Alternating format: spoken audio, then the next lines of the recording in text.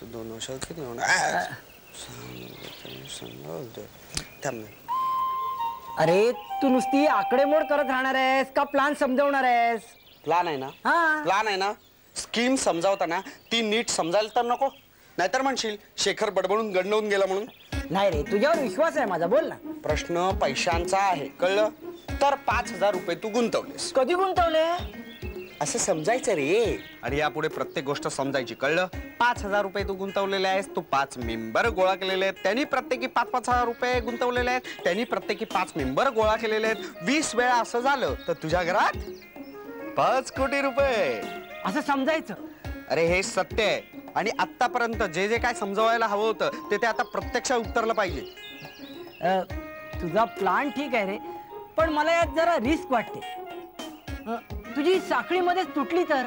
अहो साहेब प्रत्येक गोष्टीत नकार घंटा कशाला? पॉझिटिव्ह विचार करा. पॉझिटिव्ह मला एक सांग तुझ्या घरात तुझी एखादी निगेटिव्ह आहे का? त्याची पॉझिटिव्ह तयार करून ठेव. फ्रेमचा साईज दीड फूट बाय एक फूट सांग म्हणजे हात घालायला सोपं पडतं. अरे अशा कित्येक स्कीम्स येऊन संसार देशोधडी लागलेले मी पाहिलेले आहेत. कुठं पाहिलं तुम्ही? नागपूरला. घरदार सोडून माणसं घराबाहेर पडली आहेत अच्छा म्हणजे त्यामुळे तुम्ही मुंबईत आलात वाटतं. अरे खांद्यावर बसवलं तर कानात वाटलं ते बरोबरतोस साहेब हे स्वप्न नाहीये. वास्तव आहे वास्तव. पाच कोटी सहज मिळणार. ये, पाच कोटी सहज मिळणार. पण त्यापुढचे पाच पाच मेंबर्स कसे मिळणार? अहो दुनियेत मूर्ख माणसाची कमी आहे का? ते खरं आहे. पहिलं मेंबर्स मी तुम्हाला करणार. हा? ए तू मेंबर होणार आहेस की नाही तेवढं सांग हा? होतो ना. ताबडतोब होतो. पण माझी एक अट आहे. अट? हा. आधी तू मोहन आजगावकरला मेंबर करायचं. मग लगेच? लगेच निघ. लगेच निघ चाल.